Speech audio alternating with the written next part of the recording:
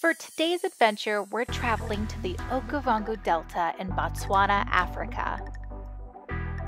It's known for its sprawling grassy plains and seasonal flooding. This massive flooding creates a unique ecosystem which is reflected in its extraordinary biodiversity. Elephants, hippos, birds, lions, zebras, and of course, Nile crocodiles. And Chris has traveled all the way here with the hopes of photographing and swimming with these apex predators. But swimming with the crocodilian species that's responsible for the most human deaths in the world is not exactly safe.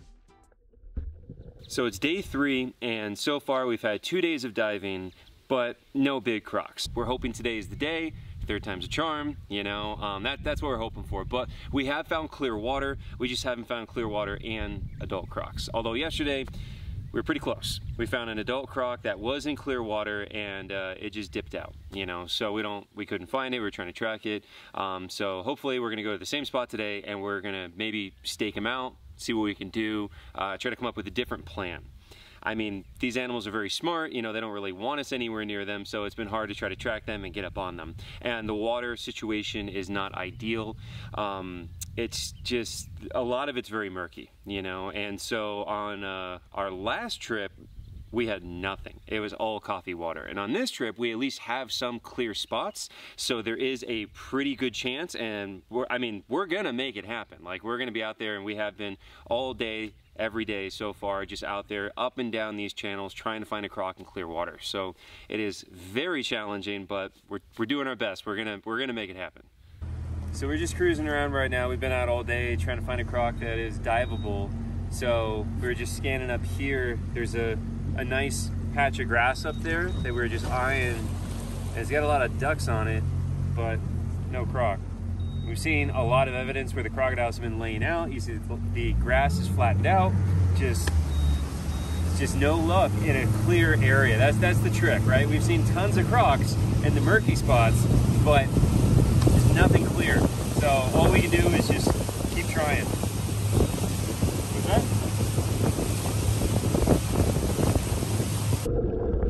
Finding an area with clear water has been the goal the entire time. So when we found this little gem of a spot, we decided to hop in and explore and see what we could find.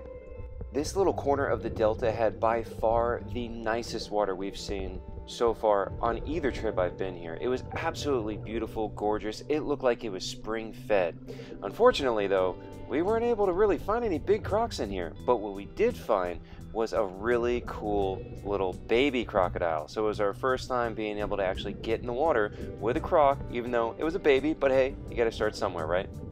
You see that toothy little grin sticking out of the bushes right there? So that's this small crocodile that was sitting up on the edge of the papyrus here.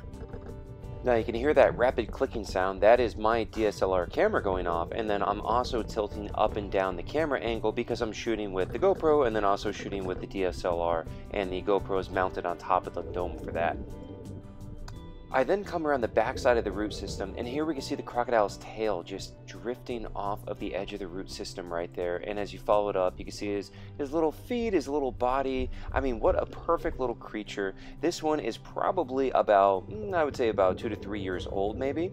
And uh, just look at that beautiful coloration and pattern on this guy. Such a cool, cool animal little croc then noticed our presence and then blasted off into the water to try to take some refuge. So I was able to follow it and try to get some cool shots and videos. Now you can see my camera flash going off right there. That's the DSLR and uh, running video at the same time. Eventually the croc decided to just kind of slowly settle down into the vegetation on the bottom though. After seeing all the big adult crocodiles up on the banks of the river, it's so cool to see this little tiny miniature version of a grown-up. Now, while my friend Walter and I were photographing the croc, it turned around and swam right towards me, and I could not resist the opportunity to try to handle this little beauty a little bit. So you can see right there, I just very, very gently under the chin redirected, support the body, and then very gently move the animal the exact same way that I move alligators. It's the exact same handling techniques that I use. Basically, the idea here is be the tree. Try to move slowly, support the animal in a non threatening way, and it just kind of perceives you as part of the environment, more or less. I mean, it's not dumb, it knows its mate, but the more you try to move, kind of like you are part of the environment, the less threatening it'll perceive you as. It's really, really cool and just really awesome how cool and chill this little crocodile was.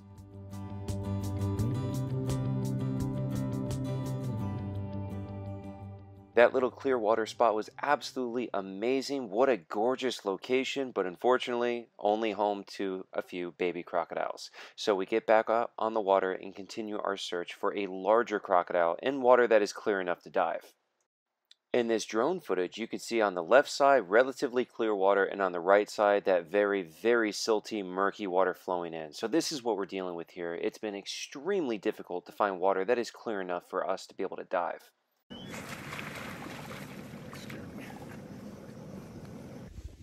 Alright guys, so we just came around the other side of the island with the ducks we were just talking about, and then there's a croc.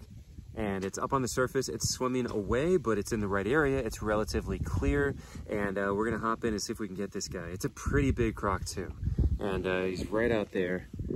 You see the water quality is pretty good, it's pretty clear, and he's out there. So we're gonna try to get him.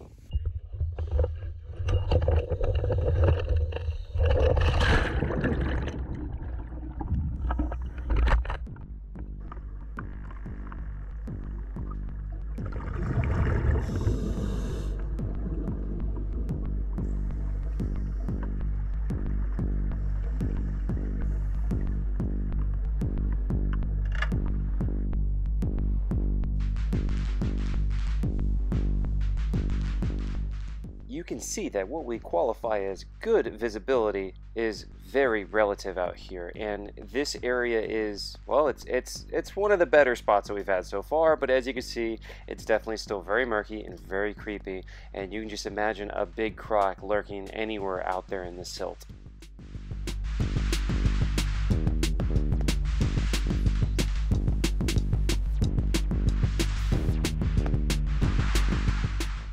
visibility also comes and goes as you move down the river. Some areas look pretty good, some worse, and then we also get up into these papyrus caves, as you can see right here. So this is underneath the root structure of the papyrus, and we went creeping in there with lights to make sure there's nothing hiding up underneath.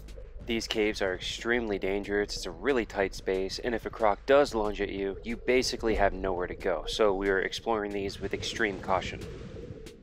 After hours and days of searching, we finally find a little light sandy patch and we get our first decent sized crocodile.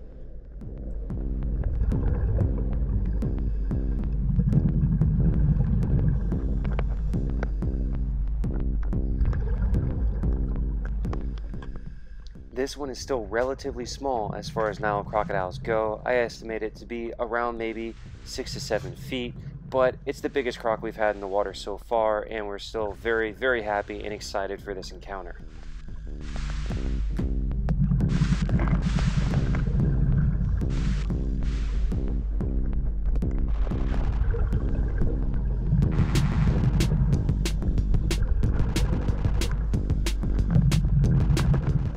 As the croc turns around, you can see it actually has a piece of fish stuck in the mouth.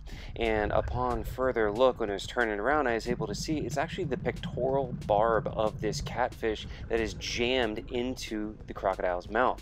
And so that's like really stuck in there, man. This guy needs to floss. We spend a few hours hanging out with this crocodile and it comes up to the surface to grab a breath. You can see him floating up at the top there and it seems relatively calm for the time being, but that calmness does not last.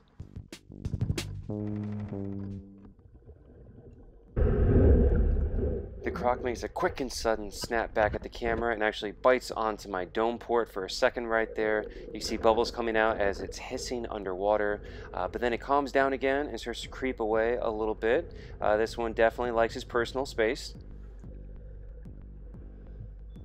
This croc is relatively calm for a Nile crocodile. It's a pretty mild manner for the most part, but it does take a few opportunities to uh, snap back, as you can see right there, and remind us it's still a crocodile.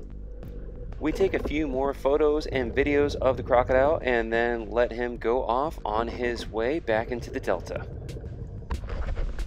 This trip took a massive amount of time and effort in the water to finally yield some results, but man, I am so excited that we finally got some shots of a crocodile in the wild, in the delta, underwater.